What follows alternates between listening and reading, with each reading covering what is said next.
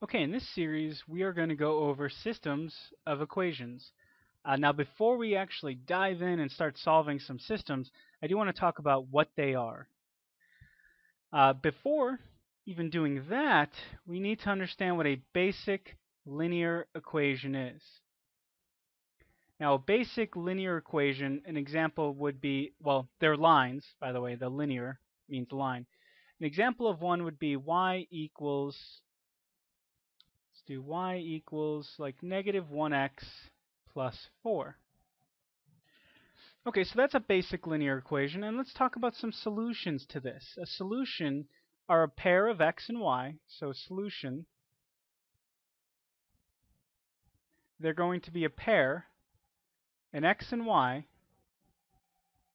that's, there we go, a pair of x and y, that satisfy, and when I say satisfy, I mean when you plug it into the equation, it works, uh, satisfy the equation.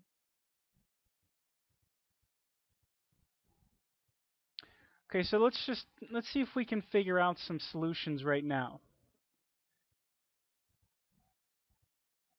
Just some basic ones. Could do a couple. Uh, how about 0, 4? So for example, when x equals 0, what happens when you plug in x equals 0 here? You'll just get 0 plus 4 is 4, so y equals 4, so that works. Um, how about, well, 4 comma 0 will work when x equals 4. Okay, and you can pause and just verify these on your own. Um, another one could be, let's do 1 comma 3, that works. Another one could be negative 1 comma 5. Okay, these are all solutions.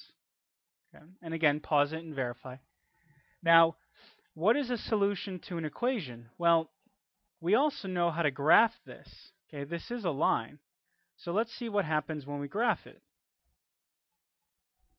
Okay, so I've graphed a line. So this line is y equals negative x plus 4.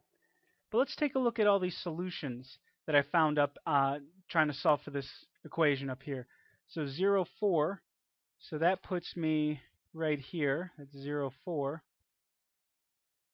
How about 4, 0? Well, that's right here.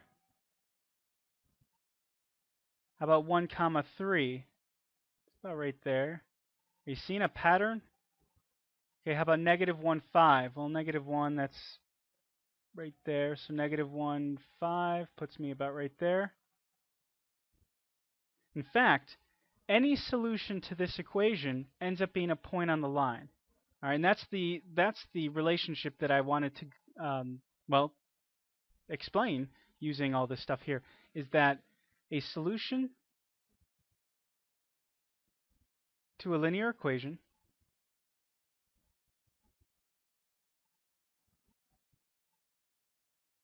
is, and these are the same thing. So solution, solution two, all right, Solution 2 and 2 Well, grammar's not really good, is it?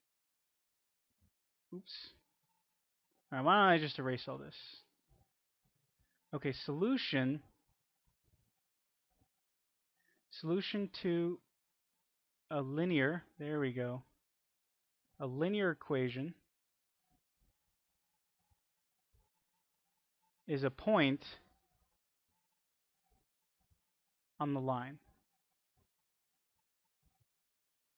So there's two ways of finding solutions to linear equations. You can try finding points, x and y, that work, or you can graph the line and then pick points off the line. Both of them are going to be solutions to that equation. So now what's a system of equations? Let's come back up here. What we're going to do is we're going to add another equation. So we have y equals negative 1x plus 4 now what we're going to do is add another one. Uh, how about 2x plus 1? So here's our second equation. And a system of equations, okay, so down here a solution to a system of equations would be a pair x and y that satisfy not just one equation, satisfy both equations now. So that's that's the difference between solving one linear equation and now solving a pair. A pair of linear equations is considered a system, and a solution to the system would be any pair that works for both equations.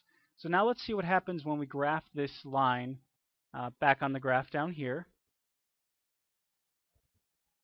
Okay, so I had to, I moved these points a little bit out of the way so we can make room for this line. Now this line right here, that's my line y equals 2x plus 1. And if you kind of come back up here, if we if we wanted to figure out a let's figure out a couple solutions to this. So a couple solutions to that line right there uh, would be like 0, 1. That's considered a solution, right? If you plug that in, I'll let you verify, pause the video to check. Uh, how about, well, we can do 1 comma 3.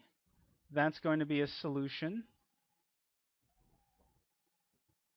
How about negative 1, 1? That's also a solution. So these are all solutions to that second line. Let's see what happens when we graph those. So we got 0, 1, 1, 3, negative 1, negative 1. That puts me down here. All right, and when you connected these these dots, I already drew the line in, but now that I've I've drawn the dots, I can connect the line or connect the dots with a line, and I would form this white line that I've already I've already drawn in. But you know what? You can see that we overlap here. All right, so what did I say up here? I said a solution to a system is a pair of an x and a y that satisfy now both equations. So let's take a look. We have 1, 3 and 1, 3. Both of those are solutions to these equations, and guess what? They're also a point on the line. Okay, and that's what a system, a solution to a system of equations is going to be. It's a it's a point that works for both lines, but it's also a point that's on both lines. So solution is an intersection. All right, all of this stuff will help you understand, or will help you later when we do solving systems by the graphing method and, and, uh, and the addition and substitution method. So then the last thing I want to talk about with uh, regards to systems of equations are the types of solutions we have. All right, because there are going to be three types of solutions. We've already seen one of them. All right, here's an example of a type of solution, and it's one solution. It's where you have two lines, and they have an intersection. Okay, so that's one type. All right, my next type or when you have two lines and these lines are parallel. Notice that the two lines that are parallel are two lines that do not cross, and so they do not have an intersection, so no intersection. And if they do not intersect, it means they have no point in common. And if they have no point in common, then they can't have a solution. All right, so so far we have one solution, no solution, and then my third Okay, so let's move over. Here is our third type. It's It might be hard to see, so I'm going to zoom in uh, much closer than I did with the previous two. And you can notice that there are actually two lines here. Okay, one is dotted. All right, so I have a red dotted, and then I have, no, I'm sorry, we have a red solid, and then a white dotted. In fact, what happens is, uh, in this example, you have two lines. They are the same line, okay, because all of these have two lines a same line. And what that means is every single point, so every point on the line